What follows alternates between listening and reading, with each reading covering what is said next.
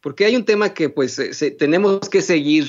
discutiendo, analizando, y tú como especialista en temas de crimen organizado, como una, una persona que ha estado en contacto directo con los narcotraficantes, si usted no lo sabe, Jesús Lemus fue acusado injustamente y perseguido en tiempos de Felipe Calderón, después de denunciar las irregularidades de Genaro García Luna, y fue puesto injustamente en prisión en Puente Grande, donde eh, tuvo contacto y pudo eh, obtener mucha información de capos de la mafia mexicana, del, crimen organizado.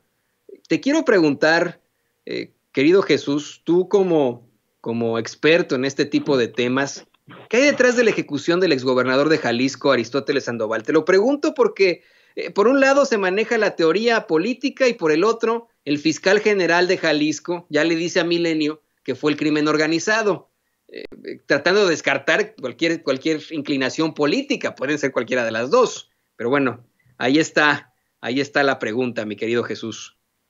Sí, gracias, gracias Toño, y la verdad te agradezco, me siento más cómodo platicando estos temas escabrosos de la delincuencia organizada que otros, a lo mejor en los que no puedo tener mucho conocimiento, ¿no? Pero déjame comentarte eh, Toño, que el asesinato del exgobernador de Jalisco, Aristóteles Sandoval Díaz, viene a poner muchas cosas sobre la mesa de análisis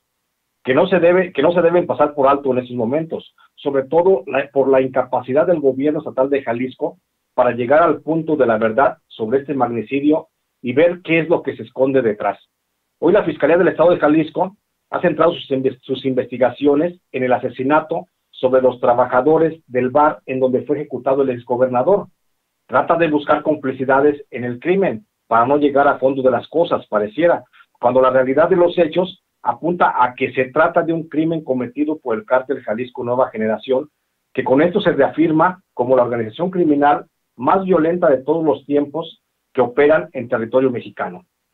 La hipótesis planteada por la propia Fiscalía General de la República, la que sin duda terminará por atraer las investigaciones del caso, refiere la posibilidad de que detrás del homicidio pudiera estar la autoría intelectual de Nemesio Ceguera Cervantes, el famoso Mencho, quien se ha manifestado en los últimos años como el enemigo público número uno, tanto de las autoridades federales como de las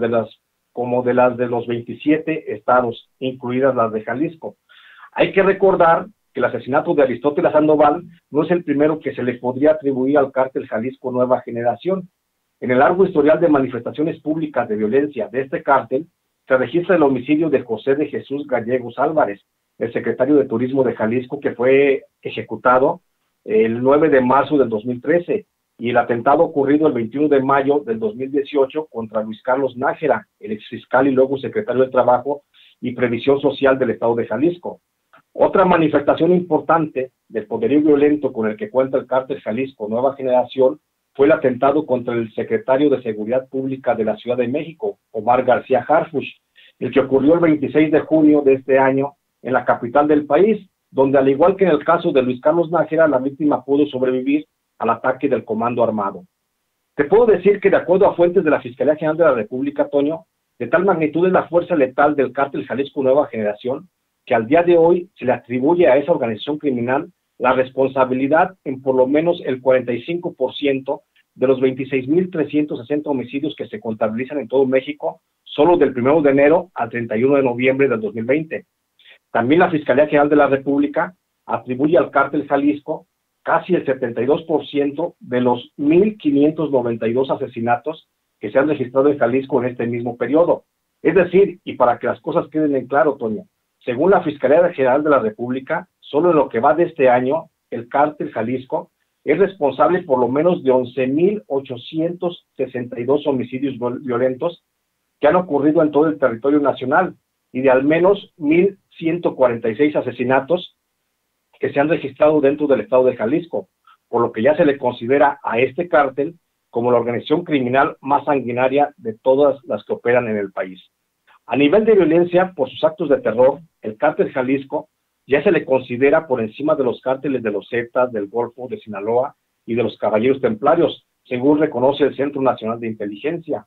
donde se establece que esta organización es la que cuenta con mayores recursos económicos para el cometido de su empresa criminal. Por eso, por ser el cártel de las drogas más poderoso en términos económicos, es que el cártel Jalisco Nueva Generación se ha clasificado por parte de las autoridades mexicanas como la primera organización criminal que puede poner en riesgo la seguridad nacional del país. Su presencia delincuencial se extiende a por lo menos 23 actividades ilícitas, aparte del trasiego de drogas, que le reditúan, ojo, utilidades que según eh, el que antes era el CISEN, podrían ser por el orden de los 120 mil millones de pesos al año. El cártel Jalisco Nueva Generación, además de ser un actor preponderante en el trasiego de todo tipo de drogas en suelo mexicano, también está relacionado en otras actividades ilícitas, manteniendo predominio en el lavado de dinero, secuestro, extorsión, piratería, tráfico y trata de personas, pornografía, redes de prostitución, tráfico de órganos, huachicoleo, fraudes cibernéticos, cobro de piso y sicariato, entre otras. Aun cuando la presencia del cártel Jalisco se extiende actualmente a 27 estados del país, siendo Yucatán, Sinaloa, Chihuahua, Durango y Campeche las únicas entidades en donde este cártel no se ha asentado, es el estado de Jalisco el que esta organización criminal ha tomado como su base de operaciones. De allí la importancia que la dirigencia del cártel le ha dado al control de este territorio y de las autoridades que lo gobiernan. Por eso de ahí se deriva el asesinato. Pues hay que recordar que antes de su asesinato, Aristóteles Sandoval ya había recibido algunas amenazas de muerte. De acuerdo a fuentes de la Fiscalía General de la República, el exgobernador de Jalisco habría sido amenazado por su negativa a una negociación que permitiera al cártel Jalisco una libre actuación para el control territorial en el trasiego de drogas en los 125 municipios de Jalisco. Hasta donde se sabe, Aristóteles Sandoval no solo se negó a esa posibilidad, sino que durante su gestión como gobernador y como hombre cercano al entonces presidente Enrique Peña Nieto, solicitó la ayuda de la federación para lanzar un operativo permanente contra el cártel Jalisco. Ese combate frontal que se hizo contra el cártel de Nemesio Ceguera trajo aparejados otros problemas. Aprovechando el combate que el gobierno estatal y la federación hicieron contra el cártel Jalisco, el entonces aún poderoso cártel del H2, liderado por Francisco Patrón Sánchez, comenzó a expandir su presencia desde Nayarit hacia el estado de Jalisco, lo que pudo haber sido considerado por Nemesio Ceguera como una declaración de guerra y una posible alianza del gobierno de Jalisco con el cártel del H2, que ya para entonces era enemigo del Jalisco Nueva Generación. Sumado a esto, el jefe del cártel Jalisco también pudo haber, sentido algo de escosor por la cercanía que mantuvo Aristóteles Sandoval en su calidad de gobernador con el consulado de Estados Unidos en Guadalajara, gracias a la cual hubo intercambio de información para la búsqueda y captura del jefe de esa organización criminal. En el intercambio de información del gobierno de Jalisco con la representación diplomática de Estados Unidos en Guadalajara, donde se reconoció al cártel Jalisco como una organización terrorista con nexos internacionales, el gobierno norteamericano emitió una oferta de recompensa por información que permitiera la captura de Nemesio Ceguera, la que fue tasada en 100 millones de dólares, perdón, en 10 millones de dólares. La recompensa con la que el gobierno de Estados Unidos puso precio a la cabeza de Nemesio Ceguera es al día de hoy la principal hipótesis hipótesis que señala el cártel Jalisco como el responsable del asesinato de Aristóteles Sandoval. Pero para todo esto también hay que recordar que ya había algunas rencillas en el pasado. La confrontación entre Aristóteles Sandoval y Nemesio ya era de conocimiento público. hay que recordar que entre el 2013 y el 2018, el cártel Jalisco protagonizó diversos eventos violentos tendientes a manifestar el poderío de la organización delictiva frente a la fuerza pública del gobierno estatal, el 2 de mayo del 2015, por lo menos 39 municipios de Jalisco fueron bloqueados en sus vías de acceso con vehículos incendiados en un acto que se atribuyó a la organización criminal. Otro evento en donde se estableció la guerra iniciada entre el cártel Jalisco y el entonces gobernador Aristóteles Sandoval fue el secuestro de Jesús Alfredo e Iván Archibaldo Guzmán Salazar, los hijos de Joaquín Guzmán Loera, el que, en un hecho que ocurrió el 15 de agosto del 2016 en el restaurante La Leche, en el municipio de Puerto Vallarta.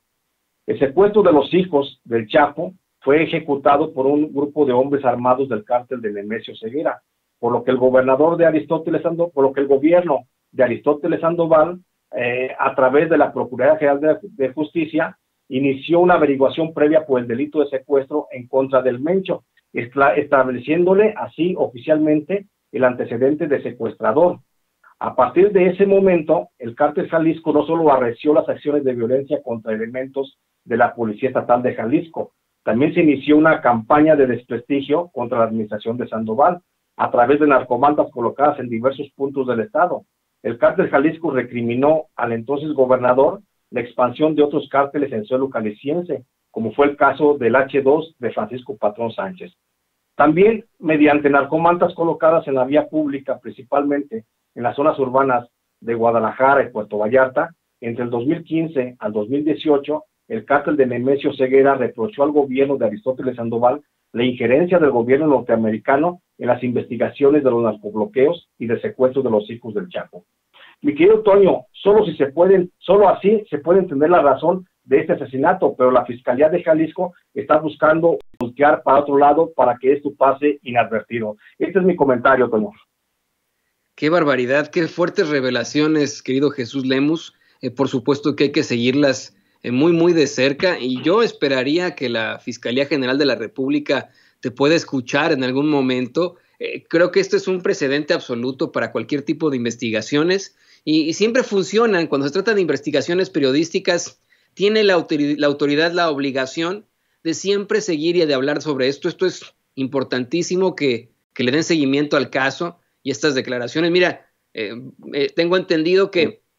se han basado en investigaciones tuyas para de, los libros que tienes para investigaciones en los Estados Unidos, así como ocurrió con, con Anabel Hernández. Creo que la Fiscalía. General aquí debería entrarle con todo, igual la Fiscalía de Jalisco, pero bueno, tú lo, mencionas perfectamente, eh, hay una incapacidad absoluta en ese Jalisco, en ese gobierno de Jalisco, eh, especialmente en este caso. Sí, estoy de acuerdo contigo, mi querido Toño. Creo que el trabajo que a veces hacemos eh, los periodistas desde a nivel de suelo, donde se ve desde otro punto de vista los hechos, eh, creo que también sirven pues de base si quisiera la autoridad investigadora, en este caso el Ministerio Público, llevar a cabo, ampliar sus, sus, líneas de investigación, pues puede servir de, de, mucha pista, porque el caso, por ejemplo, concreto aquí que nos ocupa, el caso de Aristóteles eh, Sandoval, pues no se puede entender su asesinato si no es volteando a ver cómo está operando y estructurado el cártel Jalisco Nueva Generación y cuál, fue la participación justamente de Aristóteles Sandoval como informante de la DEA a través del, consulado norteamericano en Guadalajara. Y eso es una de las cosas que seguramente le molestó, tengo entendido, le molestó mucho a, al, Mencho para llevar a cabo esta, esta ejecución. Pero como tú dices, si la autoridad investigadora está papando moscas y está volteando para otro lado, pues seguramente eh, poco resultado habrá de tener. Ahí están los elementos de prueba, ahí están las versiones, es cuestión de que alguien se dedique nada más a investigar para que puedan este, llegar al meollo del asunto.